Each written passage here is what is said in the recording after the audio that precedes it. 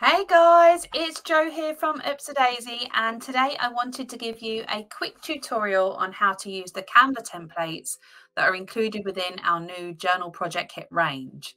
So when you receive your Journal Project Kit, you'll receive a whole bunch of journaling goodies, but also a cheat sheet which gives you some top tips for how to use your new stationery along with a QR code, which will take you to this Journal Project Kit's homepage.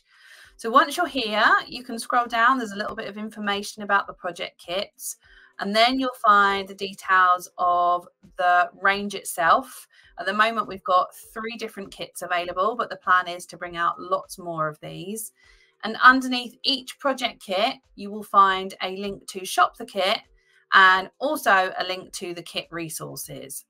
So what we're going to look at today is the Dutch Door Pet Log spread, which is this one here. So I'm going to go ahead and click the Kit Resources button. And then you'll find that you're taken to a password page because this content is password protected and is only available to people that have purchased the kit. So I'm going to pop in the password here now. And click enter. And with a little bit of luck, that should open up the page. There we go. And once we're in the kit, what you'll find is that we have a bunch of different options. We've got step-by-step -step how to use the kit. We've got our digital downloads. We have video tutorials of how to use the kit and we have an inspiration gallery. So just scrolling through, here is a little gift that we made, which shows all the contents of the kit. We have a step-by-step -step guide to the different spreads that you'll create um, in text format, if you'd rather watch it that way. Um, some photos, so that's the cover page of the pet log Dutch door, and then going down into how to create the individual pet logs. And what we're going to do today is figure out how do we size photos so that they are perfectly sized to go into these spaces that we've created in, in our pet log spread.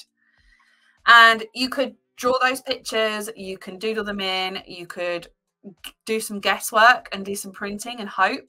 But what we've actually created is a Canva template that you can use free of charge because Canva has a free login um, and we can create the perfect size images for your spread. You'll see also in the digital download section, we have an area for downloading a digital copy of the cheat sheet. We have um, the grid scrapbook paper that's included. And this here is the Canva template. Before I click on that, I just wanted to quickly show you, this is the tutorial you're in at the moment, but there's also going to be a tutorial with me showing step by step how I created that journal spread in my journal and we've got a gallery here, which is some pictures at the moment from our lovely creative team. But what we're hoping is that when you've used the kit, you will email us pictures yourself and we can upload them to the gallery and create a really lovely resource for future customers to see how everyone else has used the kit within their journal. So I'm going to go backwards up here and I'm going to click to download the Canva template. So this doesn't involve you having to already have a login for Canva. You can quickly make a free login. I'm just going to accept those cookies. So it's going to say that a template has been shared with you and do you want to use it? So you will click use template for new design. And here it is going to ask for a login. If you don't already have a login, you can create one really easily. So we're going to do that now. I'm going to go continue with email. And then I'm going to pop in an email address that I haven't already used for Canva, which is our wholesale email address. And click continue. And then it's going to ask for your name. I'm just going to write my name. Um, and then it wants a code that it will have sent to your email address. So I'm going to quickly grab that code. And this is a completely free of charge Canva login. So I don't need to pay for anything. Pop the code in and then it will take me through to my free account. So what you're seeing here is the Canva dashboard for the design. You've got the design in the center here, and then you've got the menus, the toolbar down the side here. I'm going to skip the tour. Um, and then I'll show you how we're going to add in images. So everything within this first page, which is some instructions that I've created for you, is all locked. So you won't be able to move anything or edit anything without unlocking that. And then if we scroll down the second page, this is where you will be sizing your images for printing. This is an A4 page. So once we've popped the images into these placeholders and print this off, these will be sized perfectly to fit inside your journal spread. So what we need to do is get the images into these little spaces. And how we do that is by coming over to our menu area. And you'll see you've got a few different options down the side. And we're going to go to uploads. So once you're in uploads, it's really about adding your images into Canva. So we're going to click on upload files and I will select within my window. You can't actually see it on the recording, but it's basically opened up a window on my desktop. I'm selecting the images that I want to add in. So I've selected three images that are on my desktop, which is of Freckle, Elvis and Flora. And I'm clicking open and you'll see that those magically import into the Canva desktop. So now we've got the images all linked in here. How do we make them come over here? So this is where we need to unlock this square. So I'm going to want to add my first image into this square. When you click on it, you get the little padlock. Click on the padlock to unlock it. Now, technically at this point, you can move it around and you can resize it, but I would advise against that. What we want to do is drop our image into that placeholder. So I'm going to go over to the left hand side. I'm going to left click on this picture of Elvis, hold the left hand button over and drag him over. You'll see, first of all, he'll go really big. And then if you keep going, so you're hovering over that square, keep holding that left hand button. Elvis is now in the building. Um, so he's now in that square.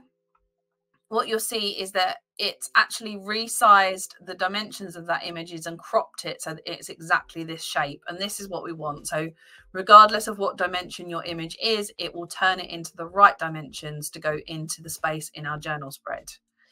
What i'm not so happy about is that elvis is quite small he's not central to the space but we can fix that. So what we're going to do is with that selected as it is now i'm going to go up to edit photo which is up the top here. Click on that and then you've got a whole different bunch of options over here. You can do cool things like add filters to the pictures if you wanted to, but we're just going to crop it. So we click on crop. You can now see is a kind of ghost image behind. This is the original image, and then this is the frame that we were using. So if you click and hold, you can move it so Elvis is a little bit more central. I can also drag down the image so he's a little bit bigger in the picture and move it. So basically move it around until you're happy with it. When you're happy with how it is, Elvis is nice and central. We click return and you've got a picture that is cropped to focus on your subject and it's the right dimensions for the space in the journal. So I'm going to do that again. Before I do that, I'm going to lock that image. So I'm not going to mess with it whilst I do the next one. So click on the space that you want to add the image in, click the padlock to unlock, and then we'll go over here and we'll find Flora. So click and hold the left button, keep holding it and drag her over until she falls into the space. And then again, if we go up to edit photo, click on that one and then over to crop we can now crop Flora so her face is a little bit more central in the image. Beautiful, beautiful girl. And when you're happy with that, click enter and you'll hold that down. Just again, click this little three dots here for more options.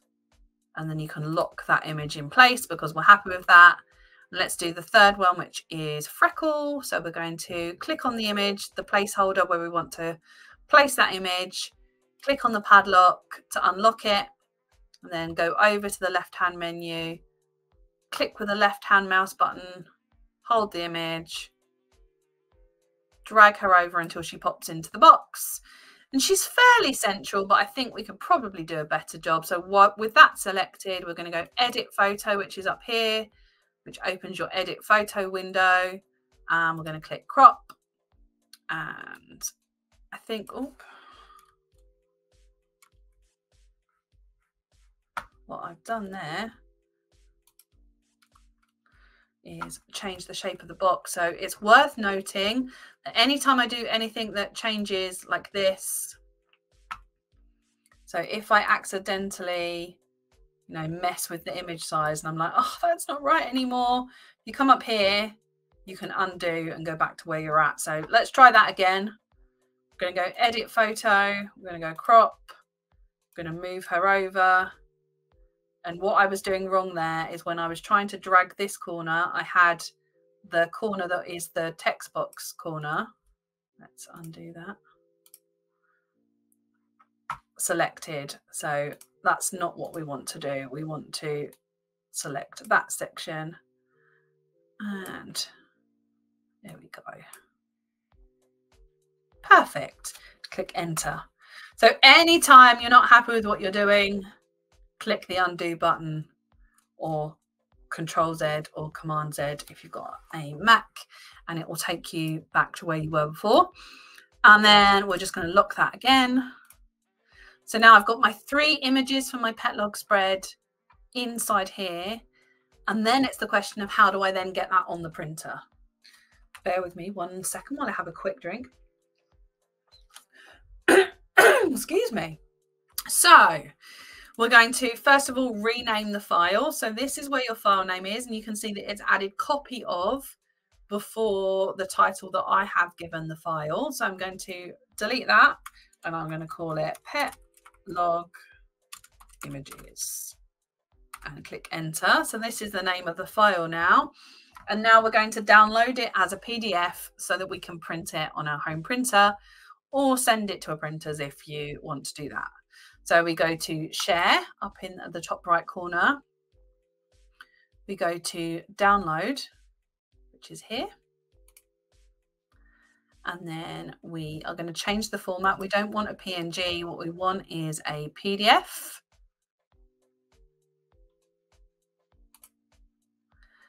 And at the moment, we've got two pages. I don't want the first page in this spread because that's our instructions. Not really that important for me to print. So I'm just selecting the second page and saying done. And then when you hit download, it will download that file for you and you can go ahead and print that at home um, on your home printer or you can send it to a printers if you'd rather um, and once it's printed onto A4 paper these will be the correct sizes for you to cut out and add into your journal spread. So this here is the pet log spread one. We have a different one for our best of the year. And the plan is as we increase the range of project kits we will increase the the range of these templates if they work for the kit that we are creating. And if you'd like to see us make these for other stencils then pop a comment below. Um, again if you've got any questions about how to use the canva templates again do cop pop a comment in the description and I do my best to get back to you. Um, but I think you'll find once you get into Canva, it's really intuitive, it's very easy to use, and it's free. This isn't a paid um, video. Um, I've just used Canva for a long time for kind of simple graphics and find it very easy to use on a day to day basis. Um, and I hope it will be helpful for your journaling. So, yeah, this is our Canva templates for our project kits, and I will catch you again very, very soon. Take care.